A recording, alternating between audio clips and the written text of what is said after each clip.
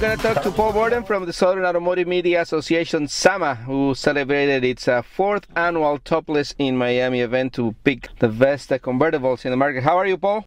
Doing fine, Javier. How are you? Thank you very much. Uh, and again, uh, I think this is the second year that I'm not being able to attend, so I feel really sorry for that. But I'm really happy to talk to you as to to. I'm sorry you couldn't be there. Exactly to do a recap of it. So I've been uh, seeing some coverage on social media and all that stuff. So tell us about it. How was it? Uh, we were a little concerned, obviously, uh, for the day before when it was raining basically all afternoon. Weather was it was heavy, of course, by the mainland, but this time it was even raining down around the hotel. And we woke up to overcast weather on Thursday morning, but it broke up and was a beautiful day and a very active day, and not quite as taxing as it was before when we had to drive 17 because we changed our format a little, but it worked out really well. It's uh, it's been growing the event, right? I mean, for the fourth event, uh, there's there's more cars, uh, more participation. Also, I saw that some uh, colleagues from other parts of the country came to cover it. That's great too. Right. We had a couple people down from GAMA, the Greater Atlanta Automotive Media Association. Uh, of course, we had our usual turnout, probably around, I believe, I don't know whether we ever got an exact count, but it was over 70 members who were down here to uh, take part. Uh, they drove uh, 17 different convertibles and judged them and scored them in five different categories. And then we had a special board that basically went through the five category winners and selected a convertible of the year.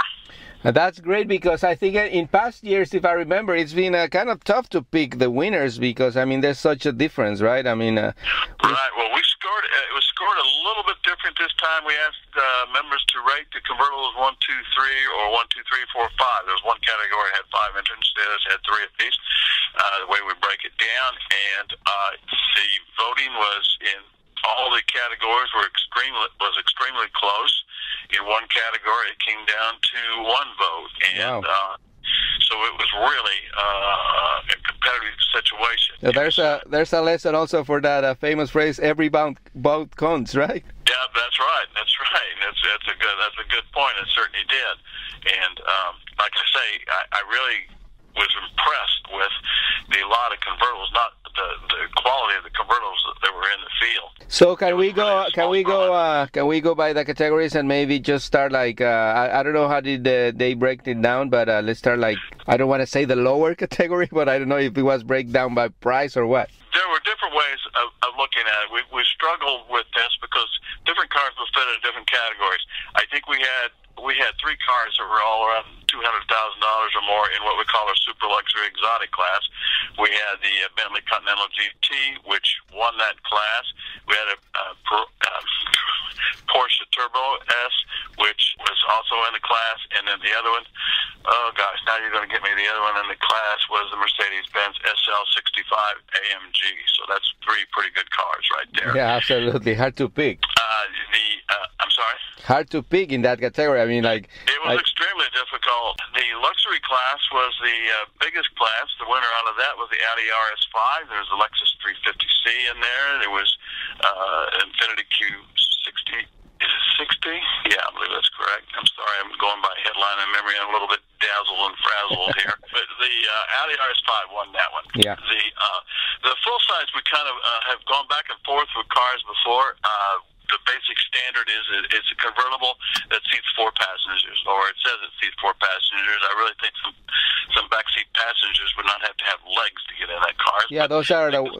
Yeah, the ones they call two plus two, right? I mean, some of those uh, seats are not really useful. For no, they're really not. Uh, the Ford Mustang came out the winner in that category, and that was a very close competition with the uh, Chevy Camaro.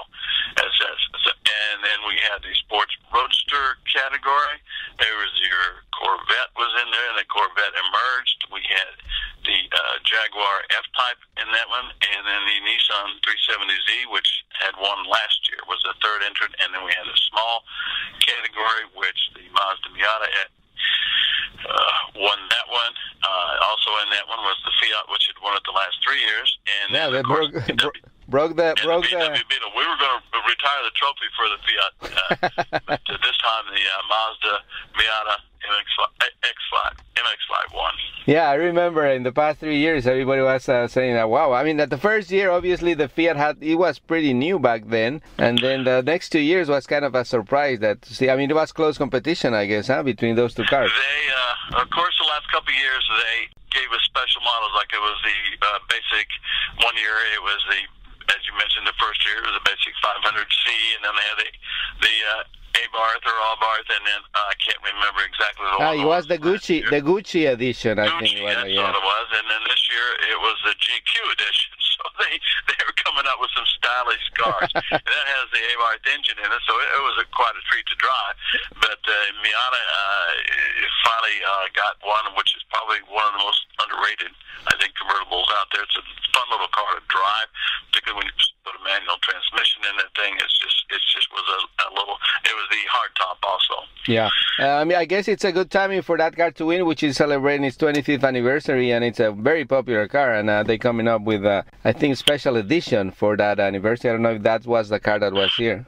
No, uh, as a matter of fact, they had scheduled that one, and then apparently that, the special, the anniversary edition was not available at the last minute, so they brought the standard MX-5, and I really thought that uh, it was impressive in its own right. So, I mean, it's uh, the event uh, again is growing and a, and a pretty good participation. I mean, what uh, what was your particular uh, favorite cars? I guess uh, can you tell us? Is the the boat secret?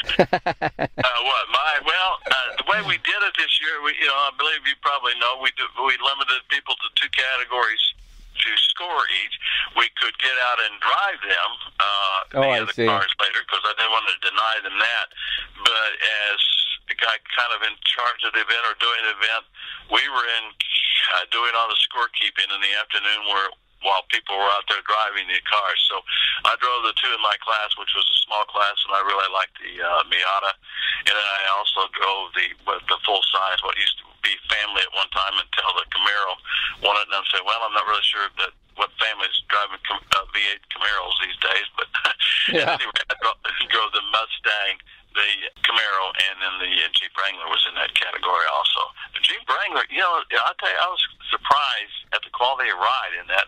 Obviously, it's a, it's an off-road vehicle, but the quality of road on, on the pavement was pretty good, pretty impressive. Yeah, all those Jeeps, uh, the new generation of Jeeps are, are pretty amazing, and uh, that's a very popular car here in South Florida too. I mean, you guys see it all over the place, and uh, it's a really, I mean, it's not like a traditional convertible, but once you take that top, it's pretty fun to do too.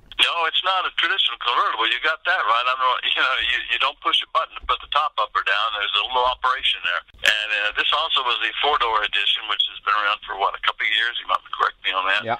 But I believe it was at least that that they they uh, introduced that. So it was a it was a surprising little ride. So I it it, got some votes in that category. So you can't ever tell.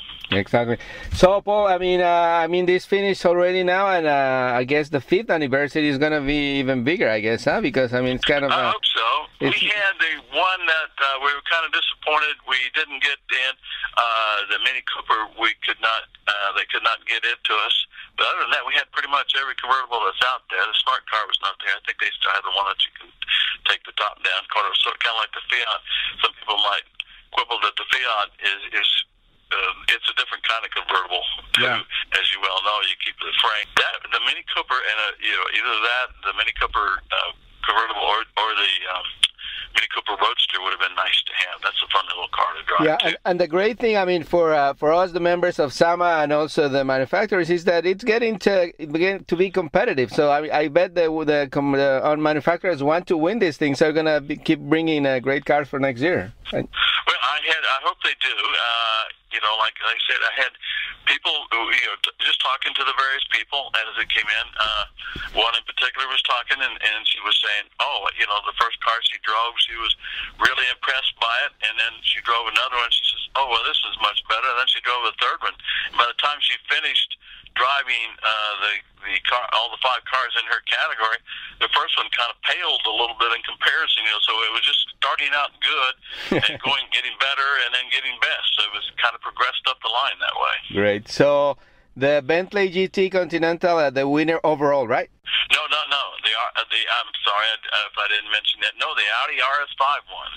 We looked at that, and uh, as as far as I mean, there's obviously there's nothing. I mean, the Bentley uh, is, is an impressive car. We we like the Audi RS5 more for the uh, for the performance overall, you know, in the South Florida market.